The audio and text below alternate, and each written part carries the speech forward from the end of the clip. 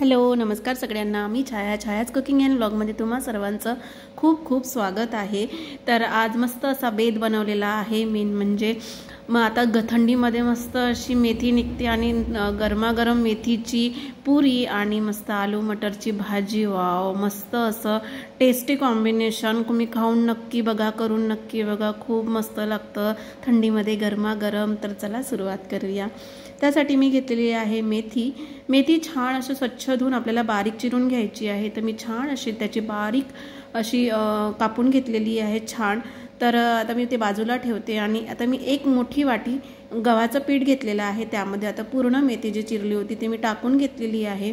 तिथे लसण जिरं आणि मिरची याचा ठेचा बनवून घेतलेला आहे. तो मी टाकलेला आहे एक चमचा चवीनुसार.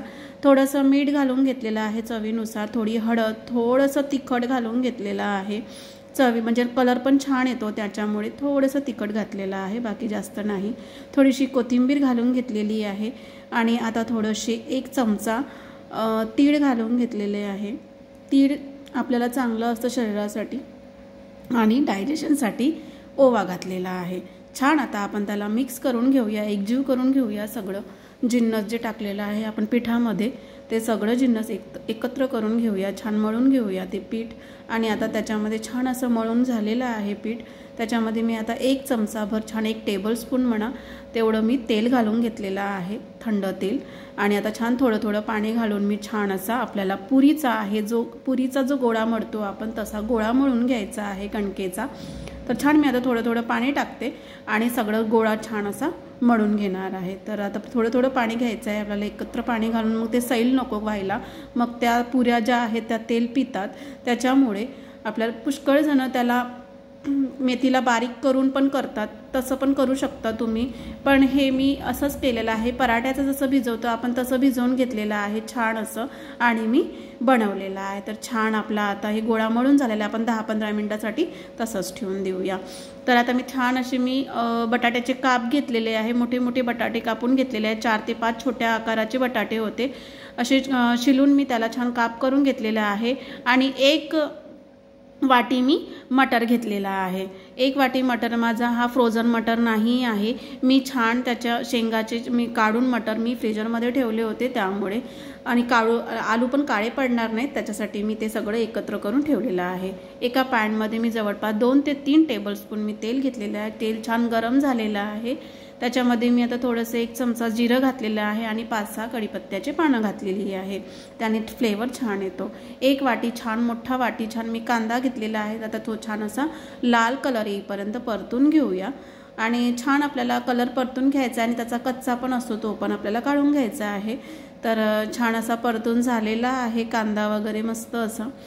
तर आता त्याच्यामध्ये मी घालत आहे थोडीशी आलं लसणाची पेस्ट. आलं लसणाची पेस्ट माझ्याकडे मी वेगळी करून ठेवते. मी असं वेकरा असा मसाला काही बनवलेला नाही आहे त्याच्यामुळेच मी म बिना मसाल्याची आलू मटरची भाजी ती पण थोडी ग्रेव्ही अशी छान त्याचं धरून असतं. खूप मस्त चवीला लागतं. त्याच्यामुळे मी बस तुम्हाला तेच सांगणार आहे. इन्स्टंटवाली. थोडासा टाकलेला आहे मी किचन किंग मसाला. आणि थोडंसं गरम मसाला टाकलेला आहे. बस याच्या व्यतिरिक्त मी दुसरे कुठलेही मसाले वापरलेले नाही आहे. तर छान असा आता आपल्याला परतून घ्यायचा आहे तो मसाला. आता त्याच्यामध्ये टाकायचा एक मोठी वाटी आपल्याला टोमॅटो. जवळपास मी दी दोन टोमॅटो घेतले मीडियम मध्यम आकाराचे. ते दोन आकार कापून मी छान आता टाकलेले आहे. आणि त्याला छान आता मी मिक्स करून घेत आहे परतून घेत आहे थोडंसं. आणि आता त्याच्यामध्ये टाकायचं आहे आपल्याला स्पायसेस त्यामध्ये टाकत आहे मी छान दोन अडीच चमचे तिखट. माझं तिखट तिखट नाही आहे. त्याच्यामुळे मी जास्त टाकत आहे. तुम्ही चवीनुसार तुमच्या तिखटाप्रमाणे करू शकता.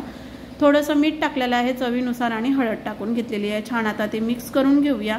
तुम्ही बघू शकता ग्रेव्ही खूप मस्त अशी कांदा टोमॅटो याचा जो पेस्ट आहे तो छान असा स्मॅश होण्यासाठी मी आता त्याच्यावर झाकण ठेवणार आहे. तर छान आता झाकण ठेवलेलं आहे. छान त्याला पाणी सुटलेलं आहे आणि मस्त असं तेल पण वरती आलेलं आहे आणि टोमॅटो पूर्ण स्मॅश झालेले आहे. मस्त आपण बघून घेऊया. आता तुम्ही बघू शकता की छान अशी आपली ग्रेव्ही जशी पाहिजे ना आपल्याला तशी छान अशी तयार झालेली आहे. त्याच्यामध्ये आता आपण म- बटाटे आणि मटर टाकून घेऊया. तर मी सगळं टाकून घेतलेलं आहे आणि आता छान मिक्स करून घेऊया आणि याच्यावर आपण आता छान आपल्याला परतून एक थोडंसं परतून आपल्याला एक पाच मिनटं परतून त्याच्यामध्ये आपल्याला झाकण ठेवून घेऊया. तर छान आता मी त्याच्यात झाकण ठेवून घेते आणि तोपर्यंत तिकडे बटाटा शिजत आहे तोपर्यंत मी इकडे पुऱ्या लाटून घेऊया आपण. तर मी छान असे छोटे छोटे आकाराचे पुऱ्या लाटान घेत आहे. मी छोटासा गोळा बनवलेला आहे. आणि छान त्याच्या आता छोट्या छोट्या पुऱ्या लाटून घ्यायच्या आहे. तर छोट्या छोट्याच लाटा म्हणजे जेणेकरून टम्म फुगल्यावर आणखी सुंदर दिसतील तर छान अशा मी आता पुऱ्या लाटून घेणार आहे. याचप्रमाणे मी सगळ्या आता पुऱ्या लाटून घेत आहे. खूप पातळ लाटायची नाही आहे खूप जाळी लाटायची नाही आहे मी तुम्हाला जाळी दाखवते या प्रकारे लाटायचे आहे आपल्याला. तर मी आता सगळं असं छान पुऱ्या लाटून घेतलेल्या आहे मस्त अशा. एवढ्या पुऱ्या लाटून ठेवलेल्या आहे. मी पाच मिनटं सेट व्हायला ठेवून देणार आहे थोड्या वेळ. तोपर्यंत आपण भाजी बघून घेऊया. तर भाजी मस्त अशी शिजलेली आहे. फक्त थोडी ग्रेव्ही पाहिजे ना आपल्याला. त्याच्यासाठी आपण थोडंसं त्याच्यामध्ये आपण पाणी घालून घेऊया. जेणेकरून त्याला जे अंग धरून जे पाणी म्हणतं ते असतं. जेणेकरून तुम्ही भातासोबत पण ती खाऊ शकला पाहिजे यासाठी. तर थोडंसं मी फक्त एक छोटी वाटी पाणी टाकलेलं आहे आणि छान अशा आता उकडी आणायला मी ठेवून देणार आहे. तर छान आपण मिक्स करून घेऊया आणि एक झाकण ठेवून बस पाच मिनिट ठेवायचं आहे. छान उकडी आली की बस झालं. तर आता आपण पाच मिनटं झालेले आहे. त्यानंतर मी तुम्हाला दाखवते पाच मिनटानंतर.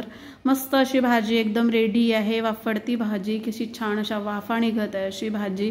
आणि थंडीमध्ये जर असं गरमागरम खायला भेटलं तर वा काय मज्जा.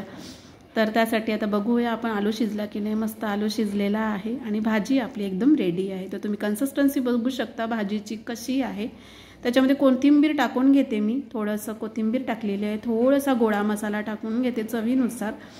आणि छान आता मिक्स करून तुम्हाला कन्सिस्टन्सी दाखवते की मी कशा प्रकारची ती भाजी बनवलेली आहे. अशा कन्सिस्टन्सीची आपल्याला भाजी पाहिजे. जेणेकरून तुम्ही साध्या पुऱ्या केल्या तरी त्याच्यासोबत पण एकदम मस्त प्रकारे तुम्ही खाऊ शकता. तिकडे तेल गरम झालेलं आहे माझं आणि आता आपण बाकीच्या पुऱ्या ज्या आहेत त्या एक एक करून सगळ्या मोठ्या गॅसवरच सगळ्या तळून घ्यायच्या आहे जेणेकरून तेल पिणार नाही. आधी छान कडक कसं गरम करून घ्या तेल आणि मस्त काळा एकाच वेळी बनवून ठेवा सेट पाच मिनटं ठेवा आणि मस्त अशा करून टाका. खूप छान असं ते एक तर आपलं इंधन वाचेल. सॉरी गॅस वाचेल. आणि तेच म्हणजे आणि तेल पण आपल्याला पटकन आणि पुऱ्या पण आपल्याला वेळ पण वाचेल. सगळ्या गोष्टी बचतच करायच्या असतात. एक हाऊसवाईफ म्हटल्यानंतर बचत महत्त्वाची असते. तर फटाफट अशा आपल्या पुऱ्या काढून घेऊया. आणि मस्त अशा टम्म फुगलेल्या पुऱ्या तुम्ही बघू शकताय. बघा एकदम मस्त अशा आपल्याला पटापट आपण त्या अशा काढून घेऊया. तर मी एक पुरी तुम्हाला अजून एक दाखवते मी तळून. आणि तुम्हाला दाखवते ती पुरी किती मस्त अशी झालेली आहे. आणि गरमागरम थंडी खूप आहे तर मी त्याला हात लावू शकते अशीच पुरी आहे ती. तर बघू शकता तुम्ही दोन्ही साईडला मी दाखवत आहे मस्त अशी टम्म फुगलेली पुरी आहे. तर या प्रकारे सगळ्या पुऱ्या झालेल्या आहे. आता मी त्या सर्व करणार आहे मस्त मस्त गरम गरम खायला.